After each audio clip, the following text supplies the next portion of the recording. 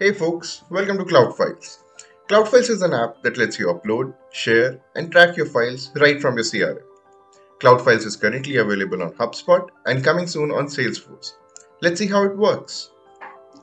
Once your administrator has installed the app from HubSpot Marketplace, you will see the Cloud Files widget on your company, contact, and deal page.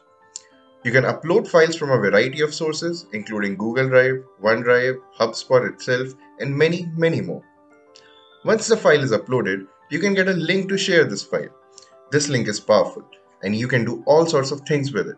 Let's check some of these out. Cloud Files makes file sharing secure through its ID validation feature. You can configure the link to require either soft or hard validation of email ID.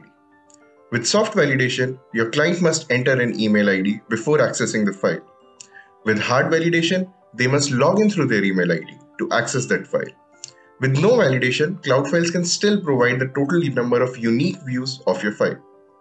Cloud Files provides detailed analytics for your file. This includes the number of views, downloads, total time spent, and time spent per page for every session of every user who has accessed this file. Cloud Files supercharges automations by connecting file analytics events to your Sales Hub. You can configure the event to fire based on the file name, number of views, time spent, etc. Cloud Files automatically creates an event on your timeline on every file view. These events can further be connected to workflows and lists to create streamlined processes.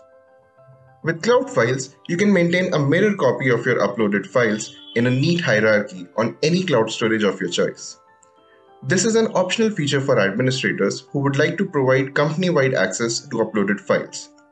The various cloud storage options include Google Drive, OneDrive, HubSpot, on-premise storage, and more. So this is pretty much it on Cloud Files. We have a lot more resources to learn and even more to reach us at.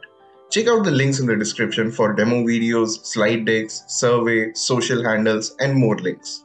Thanks for watching.